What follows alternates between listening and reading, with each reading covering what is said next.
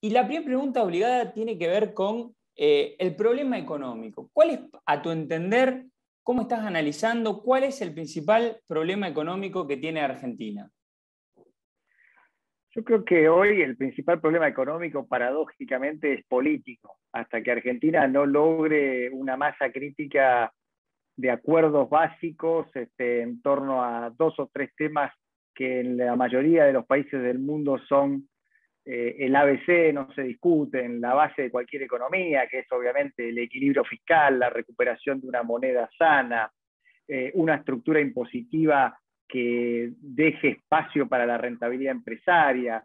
integrarnos al mundo, recuperar el valor de la, de la empresa privada y la creación de empleo en el sector privado, eh, como, ejes centrales de la, política, de la política económica de cualquier gobierno del signo que sea. Hasta que eso no ocurra es muy difícil que la economía salga porque cada dos años está sometida a elecciones, cada cuatro años a recambios en el gobierno y hoy tenemos básicamente dos modelos antagónicos. Uno, el que yo acabo de describir,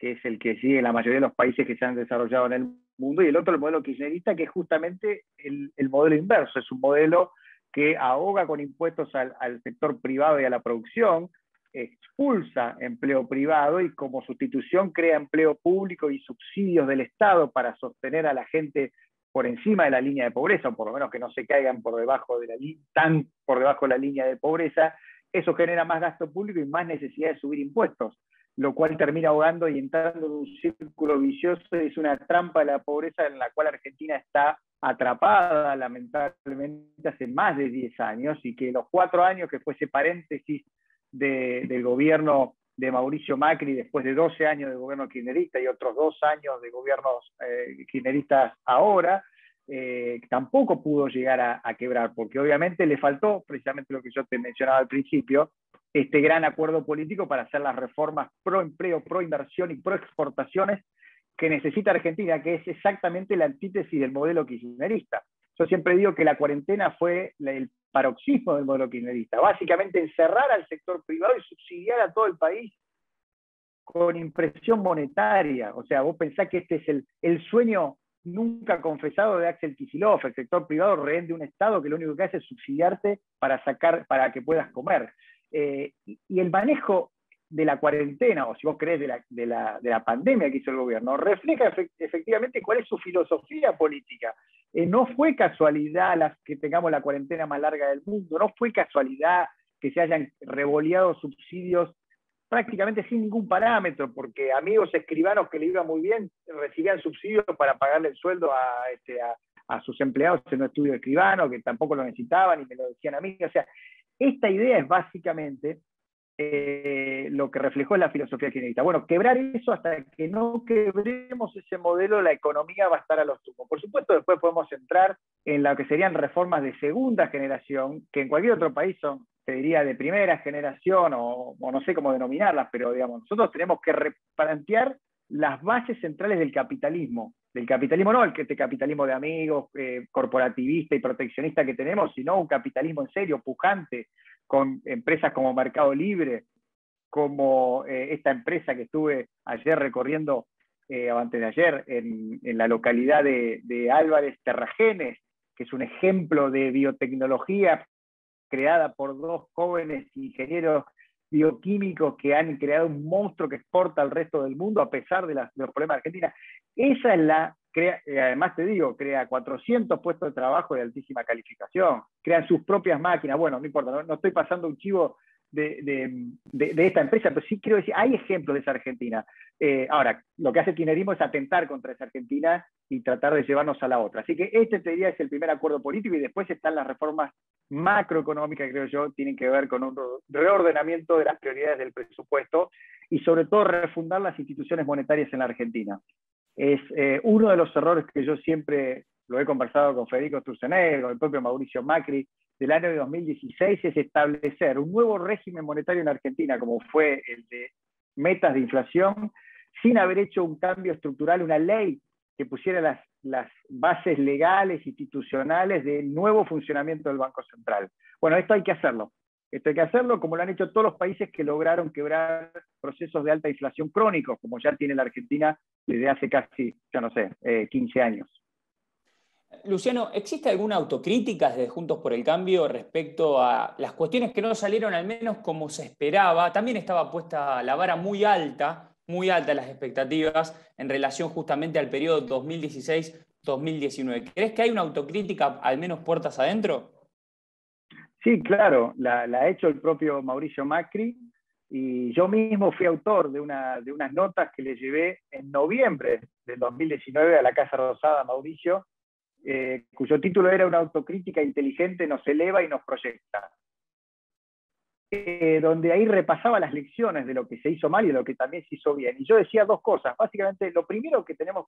que, reivindicar es el rumbo general de la macroeconomía. El rumbo al cual nos ponía el presidente Macri era el rumbo de la modernidad, del empleo, etc. Llegar hasta ahí, cruzar el río no era fácil. Había una tormenta, una sudestada, la, la canoa se nos movía como cuando queríamos cruzar el Paraná y éramos chicos, este, se nos movía para todos lados,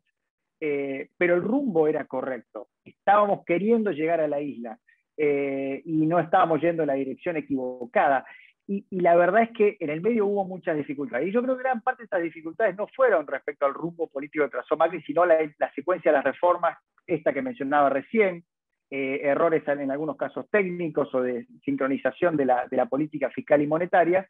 y la mala suerte que nos tocó en el 2018 una reversión muy abrupta de los flujos de capitales. Siempre que hay una crisis en Argentina, aparece una brillita con el viento en contra del exterior y además la, sequía más importante en décadas. Este, más allá de esa mala suerte, la economía venía